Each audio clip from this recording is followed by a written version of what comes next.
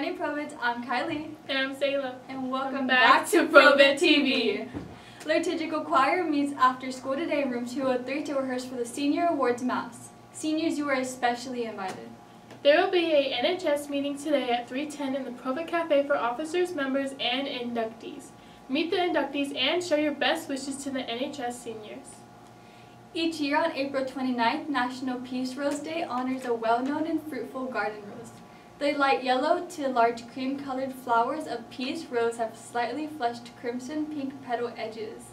It is a hybrid tea rose that is hardy and vigorous and highly resistant to disease. There are no birthdays on campus today, but born on this day are Uma Thurman, Katherine Langford, and Jerry Seinfeld. The Provet Cafe will be serving pepperoni pizza, mac and cheese, steamed broccoli, and a beverage. The weather today will be partly cloudy with a high of 90 and a low of 70.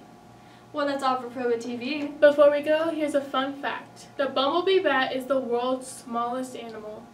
Have a marvelous Monday. Bye.